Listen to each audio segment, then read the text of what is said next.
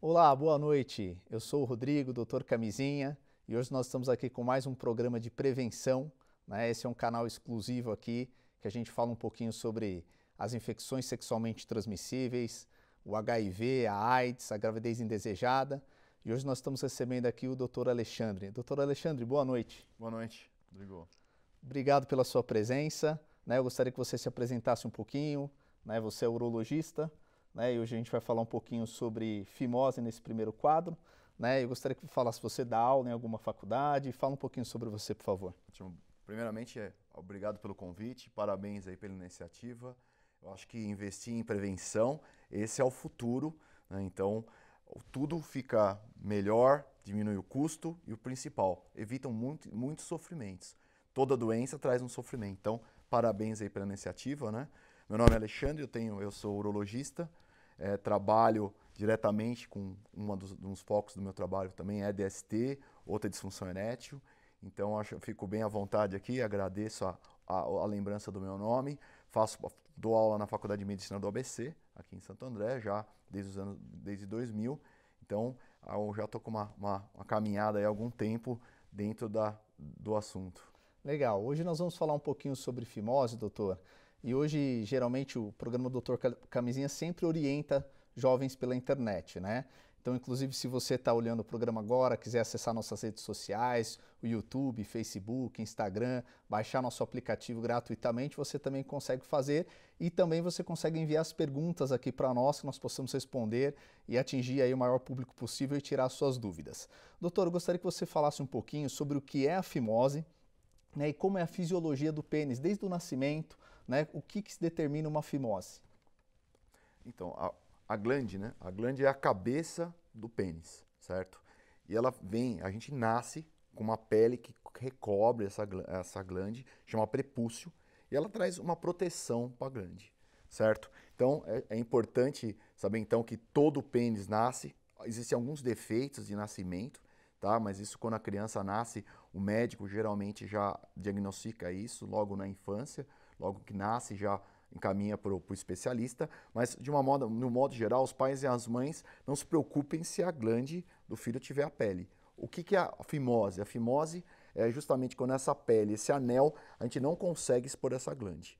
Não expondo a glande, qual o problema, Rodrigo? São principalmente dois. O principal é a higiene, então a gente não vai, não vai conseguir lavar o pênis adequadamente.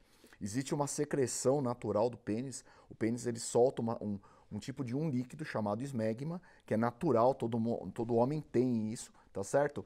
Então isso é para proteger o, o, próprio pênis, isso faz parte da, da, nossa fisiologia normal, só que o que acontece? O, qual o problema? É o acúmulo dessa secreção. Então tudo que a gente vai, se você não fizer uma higiene adequada, isso vai acumulando e traz alguns problemas principal são podem trazer infecções para o pênis, post-it que a gente fala, pode trazer infecções de urina e uma, uma, uma preocupação grande para nós nos, nas pessoas de mais idade, principalmente nos idosos, é o câncer de pênis.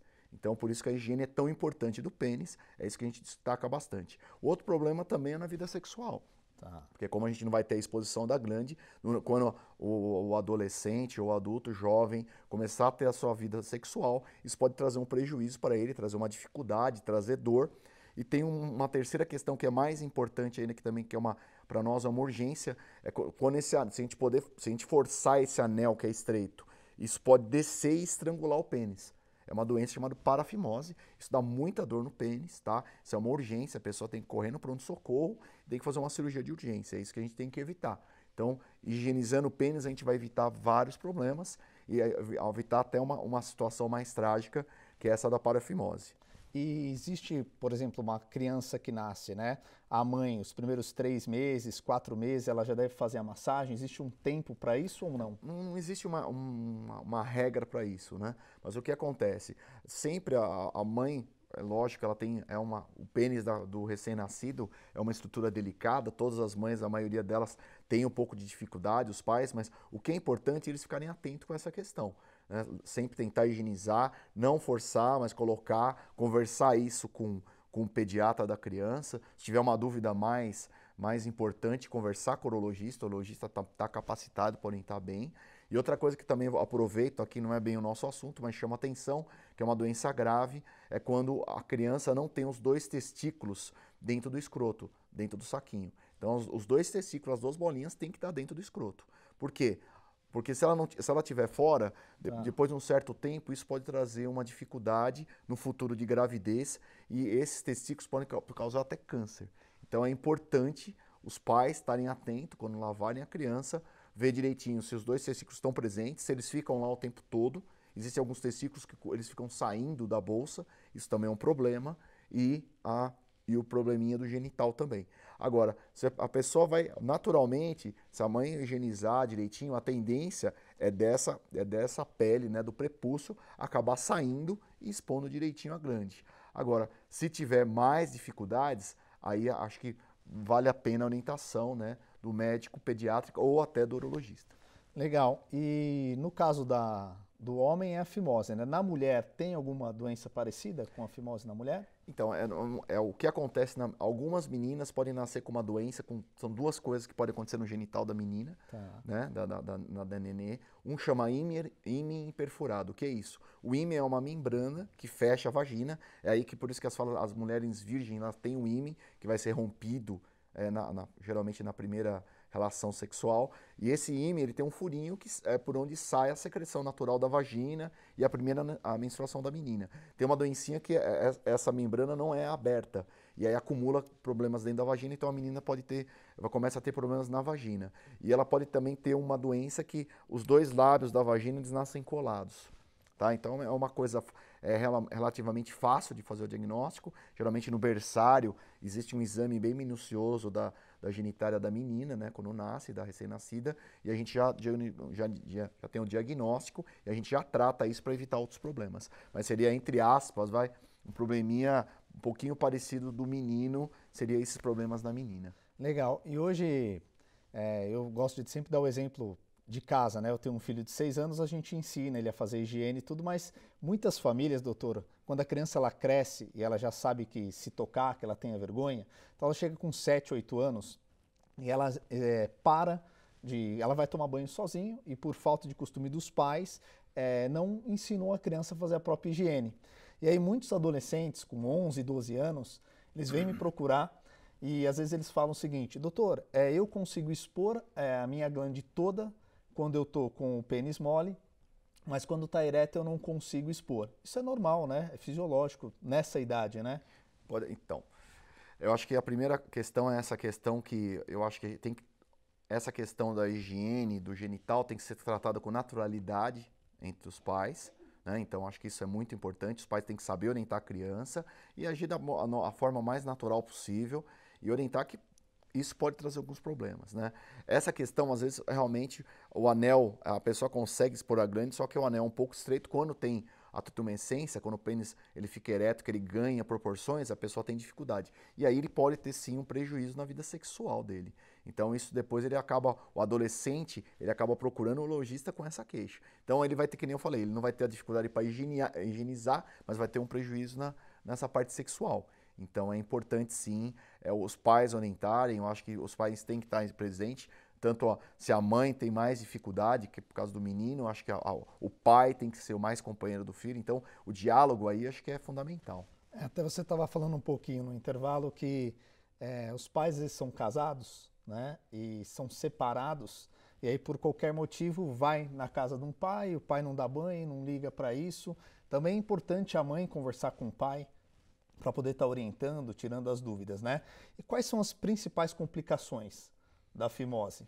É, a principal, que a gente já colocou, né, são as infecções, tanto do pênis é, como infecções urinárias, a questão da parafimose e principalmente do câncer de pênis. Porque a gente às vezes fala assim, olha, a pessoa não lava o pênis, né? Para nós parece uma coisa meio, ah, nossa, uma, uma coisa tão grosseira, mas não é é, como ele, ele sempre viu o pênis daquele jeito, às vezes a pessoa não tem, nem sabe que aquela pele é abaixo e dentro tem a glande. E aí vai acumulando essa sujeira, tá bom? A, a sujeira dentro do, da, do, do, do, prepúcio entre a, o prepúcio e a glande, isso acaba trazendo câncer de pênis, tá bom? O Brasil é o segundo maior foco de câncer peniano do mundo, tá Nossa. certo? Então isso é uma coisa que é bem alarmante, tá bom? Inclusive na Sociedade Brasileira de Biologia, que é a nossa, nosso, a, nossa sociedade mestre, tem até uma campanha sobre a lavar o pênis, a forma adequada de lavar o pênis e para quem não consegue ter essa exposição para fazer a cirurgia, né, para poder resolver esse problema. Ótimo. E o tratamento da fimose, ele também é feito só cirúrgico? Existem pomadas também que Isso. são usadas, né? É, a princípio, assim, depende o grau, o grau de complicação e o grau que tem essa dificuldade para explorar a glande.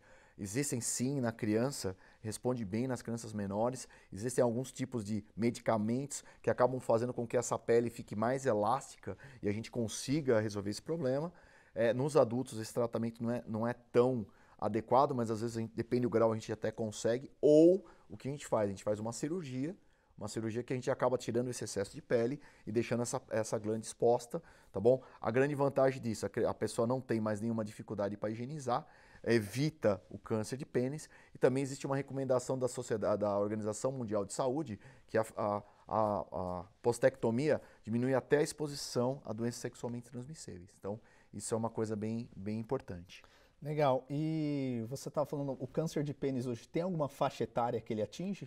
De é. homens é, ou não? É, geralmente o câncer de pênis é, é, são doenças de pessoas mais idosas, porque esse probleminha da higiene tem que ser um problema crônico. Então a gente não vê jovens, é raro a gente ver jovens ou pessoas, é, adultos jovens com problema é, de câncer de pênis. É um câncer mais a quinta, sexta e sétima década. Então são pessoas antigas que desde que eram jovens é, não, tem esse, é, não tem esse cuidado adequado do pênis. Legal. E doutor, é, é, tão interessante falar disso, né? Os jovens têm muitas perguntas, né? E a gente queria também falar um pouquinho sobre o tamanho do pênis. Geralmente o adolescente ele se preocupa muito com isso. Existe um tamanho médio do brasileiro? Ele precisa realmente se, procurar, é, se preocupar com isso, já que ele está se desenvolvendo? Olha, eu, assim, isso é uma, é uma dúvida realmente. Todo, é assim, todo homem se preocupa com, com o tamanho do genital, mas assim, é, a gente tem que lembrar o seguinte: a mulher não tem essa preocupação, primeiro. Segundo, eu costumo falar para os pacientes: tem, paciente, tem gente que tem um nariz grande, tem gente que tem um nariz pequeno, tem gente que tem orelha grande, e o pênis é a mesma coisa, entendeu? A grande questão do pênis, eu acho que não é só a penetração em si que faz a pessoa ter prazer ou não. Então, o ato sexual envolve outras coisas além do tamanho do pênis. Então, mas é que isso é cultural, Sim. isso é uma coisa que a gente vê lá, a gente vai, a, a, a criança acaba tendo contato, né, o jovem com material erótico. Então isso, isso acaba fazendo. A gente tem que lembrar o seguinte: é, é, o, é o fake news né, do sexo. Tá, Jair, doutor. Obrigado. Vamos para o intervalo, fica conosco que nós já voltamos.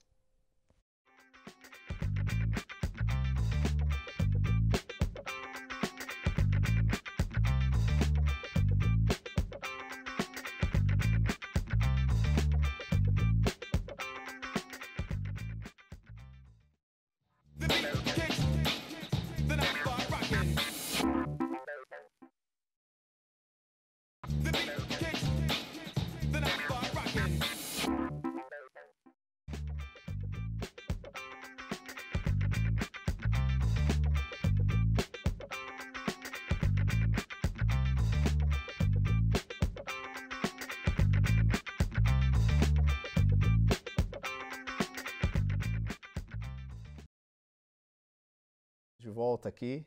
No primeiro bloco nós falamos um pouquinho sobre fimose, né? Hoje nós temos aqui um convidado especial, o Dr. Alexandre, e agora a gente terminou aí falando de o tamanho do pênis, que muitos jovens se preocupam com isso, mas também uma grande dúvida, doutor. É, chega o adolescente à noite, né, principalmente, e ele às vezes acorda e ele vê que ele ejaculou, né? E muitas vezes ele não, não sabe o que, que aconteceu com ele. Eu costumo orientar esses jovens que é poluição noturna, né? Eu gostaria que você explicasse um pouquinho por que, isso acontece com o adolescente, né? Se isso é normal, vai até que fase da vida dele? É, a copulação noturna, ela, ela ocorre porque durante o sono REM, que é o sono mais profundo, o homem tem ereção. Então a gente tem ereção noturna, a maioria dos homens, isso aí acontece a maioria dos homens, tá bom? E o que, essa forma de ejaculação acontece geralmente em adultos jovens mesmo, em adolescentes, é bem mais frequente. É, depois, com o início da vida sexual, isso acaba diminuindo mesmo por causa da frequência. A gente não sabe bem os mecanismos, né, são mecanismos neurológicos bem, bem complexos, estão associados com isso. E de acordo com. Pode acontecer em adulto também, tá? É, se ele tiver um, um, tempo de abstinência sexual maior, tiver algum problema, é, às vezes a gente também não sabe bem o que é, como são os, os sonhos que, a gente tem no sono REM, que a gente não acaba não lembrando, então tá tudo envolvido com isso. Mas isso é uma coisa extremamente natural. Às vezes tem muitas pessoas realmente, muito jovens, que ficam, é, que começa a ser muito frequente, eles acabam achando que são uma doença, um problema, ficam envergonhados, né, por causa da, da situação é aquele que se forma, mas isso é extremamente natural e não, tem, não, tem, não traz nenhum outro problema.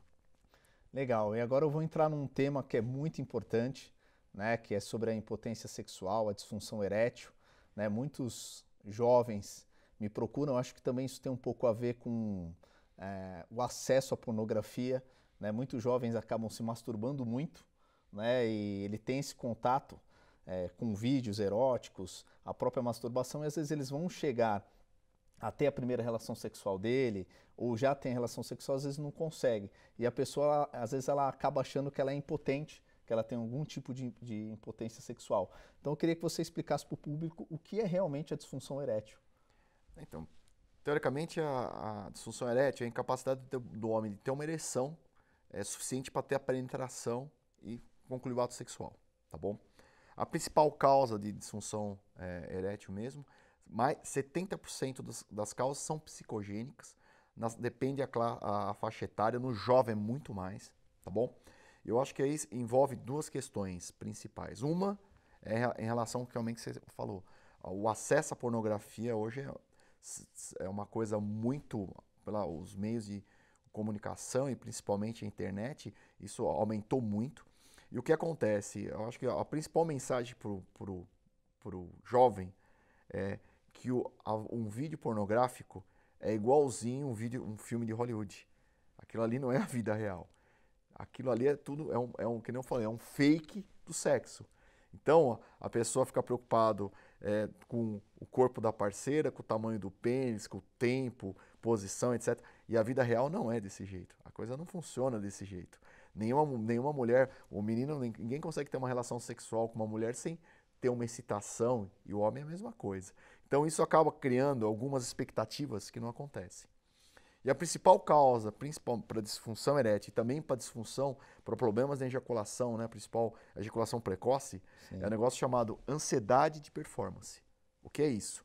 É assim, a pessoa vai para a relação, ela está mais preocupada em ter ereção do que ter relação. Sim. Ela está mais preocupada em reter a ejaculação do que ter ereção. E a coisa complica. Se eu chegar agora para você, Rodrigo, e falar assim, não pense em maçã no que você pensou, Sim. na maçã. É verdade. Então, se a gente for pensar, olha, eu não vou conseguir ter ereção, impossível ter. Tá? A parte psicogênica está sempre muito envolvida com isso. É só a gente dar um exemplo claro. Imagina a gente sair de um velório de uma pessoa querida, a gente vai chegar em casa e pensar em ter, ter relação, em ter em sexo. A gente não pensa assim. Então tem várias coisas que bloqueiam. Então, depressão, ansiedade, é, alguns distúrbios psiquiátricos mesmo acabam trazendo, acabam trazendo isso. E o jovem tem muito essa carga ainda. Ele está ele tá ele tá tendo o primeiro contato com a sexualidade, ele está tendo o primeiro contato com a parceira, com o parceiro, e isso acaba mesmo gerando ansiedade e é uma, uma fase crítica. Eu acho que a grande questão, acho que a, a pessoa tem que colocar isso em mente. Algumas doenças, sim, existem doenças orgânicas nessa fase que podem trazer, sim, distúrbio de ereção. Só que isso não é comum, mas precisa ser afastado. Então, a primeira coisa que nem como a gente aborda isso no consultório, quando vem pessoas de qualquer idade com problemas de ereção, a gente discute essa parte psicogênica, depois a gente pega e a gente faz alguns exames sim para ver se não tem nenhum distúrbio orgânico. E eu costumo dizer isso para os pacientes também.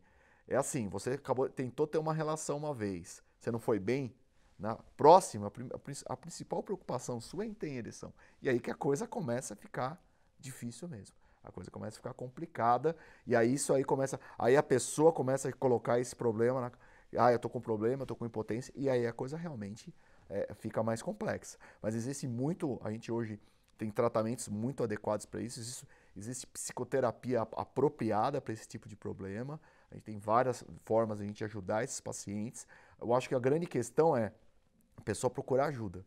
Hoje, infelizmente, a gente vê muitas pessoas com problemas, não só dessa parte, mas de outros problemas de saúde, que a primeira coisa que ela faz é procurar a internet. E às vezes na internet o caminho não é o melhor. Então existem profissionais né, que estudam isso, são qualificados para isso, que têm que têm capacidade para ajudar as pessoas sem, sem apelar para algumas coisas que são mais mito do que verdade. Sim, o brasileiro hoje, né, é, com a ajuda da internet, justamente por não ter tantas pessoas acesso à saúde, a pessoa realmente ela vai para o Google e é o doutor Google. O Google é o médico dela. Então ela, o que você falou é perfeito, né? Uma cena de um ator no, de pornografia demoram horas para fazer dois, três minutos. Né? E o jovem ele cria aquela expectativa aquela ilusão, que a primeira né? relação sexual dele é, ele quer criar aquele ambiente e não é assim. Né? Ele tem que se preocupar com a parceira, ele tem que se preocupar com ele, conhecer o próprio corpo. Né? Então é muito importante que é o autoconhecimento. Se, né? se proteger né? Exatamente. das doenças, se proteger de uma, de uma gravidez indesejável, então tem que ter tudo isso em mente. É, parece que é mito, né? As pessoas a gente ouve, né? O cigarro. É, o cigarro causa realmente impotência? Existe uma quantidade? Porque os jovens hoje eles começam a fumar e eles acham que não, não tem nada a ver isso. Então, é assim, o pênis, como é que ele funciona? O pênis é um, é um órgão, é assim, ele tem que encher de sangue para ter ereção. Então, para encher de sangue, o que a gente precisa? A gente precisa do comando, do comando mental. Então, a gente precisa do cérebro tá ok para mandar esse contato. Por isso que a parte psicológica atrapalha. A gente precisa que, então, que os nervos que chegam no pênis estejam ok. A gente, precisa, a gente precisa que o sangue chegue lá e fique represado. Então, todas as doenças que causam má circulação podem trazer problema de direção. Então, todas elas. Então, por isso que a pessoa que tem problema na, quando tem uma pessoa que tem problema na coronária, teve um infarto, Sim. a mesmo problema de circulação que ela tem na coronária, tem nos, nos vasos que vão para o pênis dela. Então, por isso que ela tem problema de direção. Então, o tabaco, a diabetes, a obesidade, o, a, o aumento do colesterol e das gorduras, é, tudo isso pode atrapalhar a circulação e, dessa forma, levar a um problema de direção. Então, o tabaco, a gente sabe que é um dos principais problemas é, que trazem doença arterial. Então, essa doença arterial, que nem eu falei, é no coração, é no cérebro, é nas pernas e é no pênis também. Legal. E os homens hoje, né, doutora, é, têm vergonha de ir no médico. Qual que é a principal, você que atende muitos homens, conversa, por que, que o homem, né, existe um machismo dele não procurar o médico, dele estar tá com um problema e ficar guardando aquilo para ele? Quais são os fatores que afastam o homem de procurar um urologista? Então, é, essa questão é, é, espetacular. A questão é o seguinte: primeiro, que tem um lado cultural. Então, para o homem, ele encara a doença quando ele não consegue trabalhar. Então, enquanto ele está produtivo, ele está saudável. E não é verdade. Segundo, que também é cultural, que a gente não tem essa mentalidade que nem nós estamos falando aqui, falando em prevenção. Sim. Então, a gente tem essa mentalidade que você só tem que procurar um médico quando você está doente. Não é verdade. Pelo contrário, gente, o, o, principal papel da, da medicina é a manutenção da saúde, não só cuidar da doença. Muitas pessoas falam, não tenho tempo. Eu costumo dizer o seguinte, uma frase, quem não tem tempo para cuidar da saúde, vai ter que arranjar tempo para cuidar da doença. Sim. Então, essa é uma outra questão. E existe essa questão assim, muitos não gostam de procurar um médico, falar, ah, doutor, vou no médico, vai arranjar um problema para mim, vai arranjar uma doença que eu não estou sabendo, então é melhor não fazer nada. Só que é o seguinte, o preço da consequência lá para frente é muito grande. E muitos realmente, nessa parte sexual, muitos têm muita dificuldade é, de, de encarar o problema, de conversar o problema, de se abrir, entendeu? Então, não é, é muito incomum a gente pegar esses problemas com um mês, dois meses. Geralmente, o paciente já tem isso há seis meses, um ano, até mais. Aí que ele acha que realmente fala, olha, precisamos, tá? Preciso encarar esse problema. Então, é que nem eu falei, a mensagem é sempre tem gente qualificada para te ajudar é muito interessante essa parte que você estava falando do homem, ele perceber que ele tem o um problema e ele ir atrás. Mas também tem muito homem que, por ter a impotência sexual, né, disfunção erétil, ele começa a fazer uso do, do estimulador, né, os azulzinhos, de forma é, discriminada. Não, e isso tem prejudicado muito o desempenho do homem também, né? Então, a questão é a seguinte, a questão é que, às vezes, a, a, a, a disfunção erétil é só a ponta do iceberg. Tá. Por exemplo, mais ou menos em torno de 15% dos homens descobrem que tem diabetes para direção. Então, ou seja, ele está indo lá tomando remedinho, mas o problema mesmo de verdade, que é a diabetes, continua. Entendeu? Então, o que, o que é importante? O importante, sim, hoje os remédios ajudam muito a gente, é uma ferramenta muito importante. Hoje é, a gente consegue ajudar a grande maioria dos homens, mas o importante, a gente precisa afastar vários problemas. Existem vários, tem, existem problemas hormonais, problemas de tireoide, problemas de gordura, problemas de circulação, problemas de diabetes, que é um, talvez um, um, dos principais. Que a gente tem que, se a gente não tratar essa doença de base, né, a, a coisa não, não, vai funcionar. Então, essa, essa questão, esse atalho da gente ir lá na farmácia e comprar um remédio, infelizmente, não é a melhor saída, não é a melhor solução.